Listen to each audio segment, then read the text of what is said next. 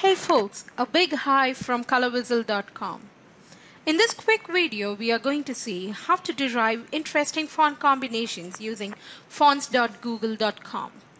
Here, we are already in that website. So here are the fonts listed down according to their categories and their styles. So, okay, first let's pick the style that we want.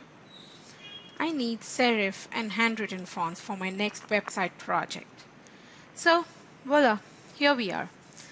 So now let me check which font looks good for my H tags. So uh, here I think Roboto Slab looks good. So let me check how does this look when it's bold. And there are multiple options to check here. How does this look in a paragraph or how the numbers are like and stuff like that. So just you can go ahead and type a custom font here. Let me type font combinations. Okay. Now when I say apply to all fonts, see, all the fonts are with this text now.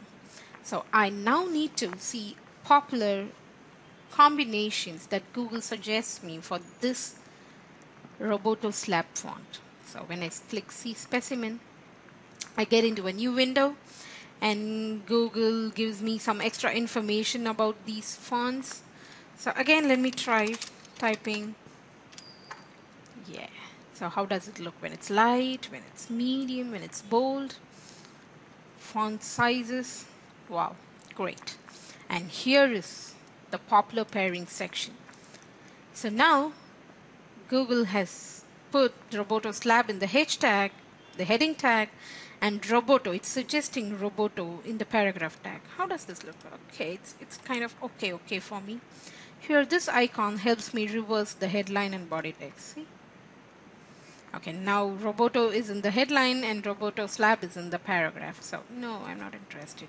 Okay, so I've reversed it. How does this look with Open Sans? Yeah, this looks good. So, let me try bold. Yeah, this looks like a good combination. Let me check one more. Yeah, this looks better than the previous one. So, okay. So, I'm trying Roboto slab in bold and Lato as paragraph. This looks good to me. No, not this. No. I feel Roboto Slab and Lato pairs up well, so maybe I'll use this for my next project. We at colorwhistle.com sometimes face font issues where the client will not be happy with the fonts we suggest.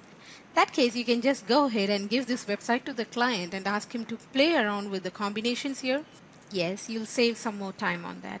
So try to play with multiple combinations. Here are like thousands of combinations that you can play on. Let us know in the comment section if this video was helpful.